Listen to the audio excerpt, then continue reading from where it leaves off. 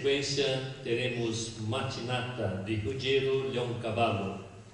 Matinata foi a canção composta por Ruggiero Leoncavallo. Esta canção foi dedicada ao famoso cantor Enrico Caruso.